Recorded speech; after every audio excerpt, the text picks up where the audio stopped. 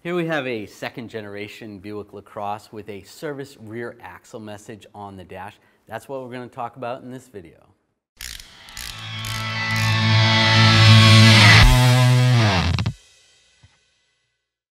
We scan tested the vehicle and in the module that controls the rear differential clutch, we found that we had a code C0407 with a symptom 64. What this code means specifically is the all-wheel drive oil pump is slipping. When you get this code, your all-wheel drive system becomes disabled and you get the warning light on the dash. If you only have a two-wheel drive Buick LaCrosse, you only have these two drive shafts or axle shafts powering the front wheels. When the all-wheel drive system is disabled, then those are the only tires that are powering the vehicle. In this vehicle, we have the transfer case right here, and it goes to the drive shaft that goes to the rear of the vehicle. And then you have the input to the rear differential assembly. There is clutches in here, and then the rear differential right here, and then the axles that power the rear wheels. There's two different sections in this rear differential.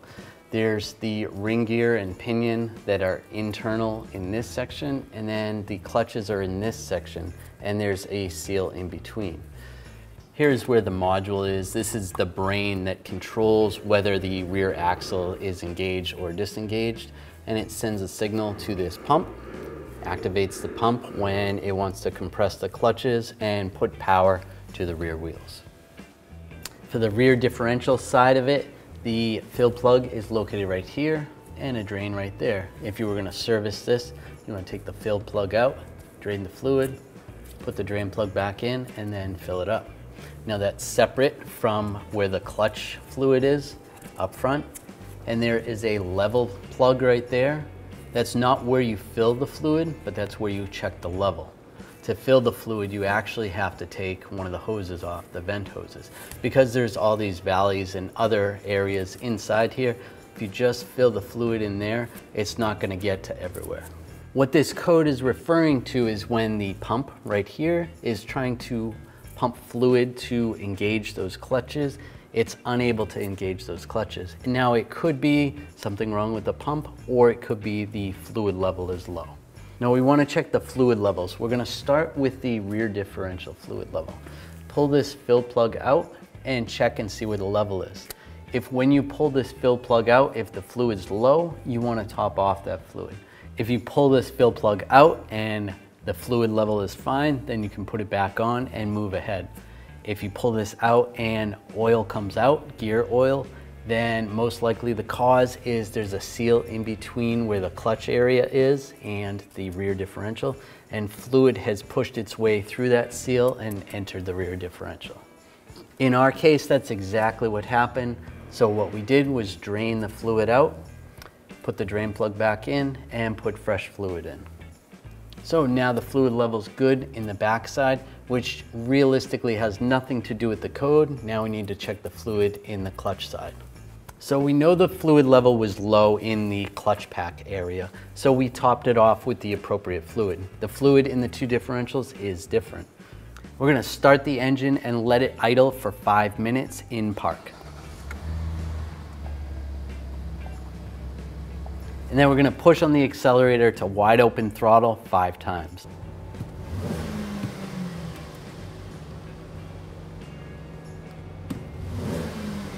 And that's gonna purge the air out of the pump and then we can shut the vehicle off and check the level. Now I'm gonna take this level plug out or just use a eight millimeter Allen, loosen this up. I'm just gonna have a drain bucket underneath just in case any fluid comes out. And pull that out. And we want the fluid right up to that level. So I need to add a little bit more fluid. So before I add the fluid, I have to add it to the vent. I am just gonna put this fill plug back in or level plug. Now I'll add some to the vent and then check the level again. I take a piece of rubber hose and just install it where that vent hose goes.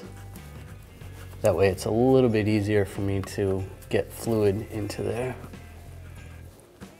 Now I'm gonna take a fluid gun, fluid transfer gun, and take the appropriate clutch fluid. I'm gonna attach this to that hose.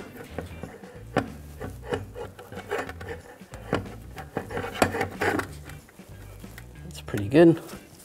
And this is how you install the fluid. And the reason why you do this is because there's different valleys in here that the fluid's not gonna get to if you just install the fluid through the fill hole. So we're gonna do this until the fluid starts coming out the fill hole. Oh, right about there. And take the vent hose and reinstall it on the fitting.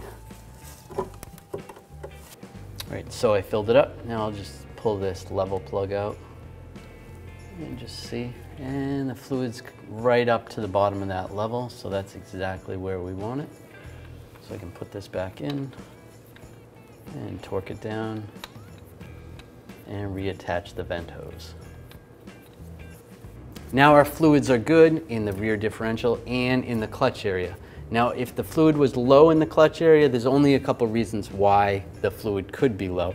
Either there's an external leak, which we would see, that seal is bad, where the fluid's going back into the rear diff, or someone serviced this and did not put the appropriate amount of fluid in.